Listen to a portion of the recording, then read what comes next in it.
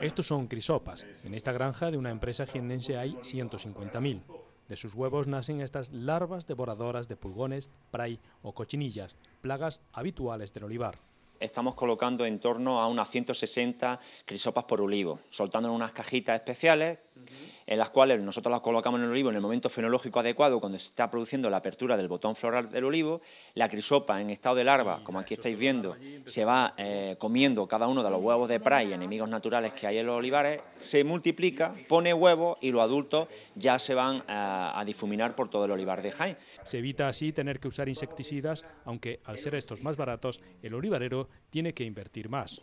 La rentabilidad de la lucha biológica está demostrada en invernaderos, pero criar estas larvas es caro. Por ejemplo, para alimentarlas hay que comprar estos huevos en Francia a 600 euros el kilo. La empresa confía en que los cinco años empleados para conseguir este criadero empiece a dar frutos. Estas crisopas ya se están soltando en olivares de Jaén o perales de Zaragoza.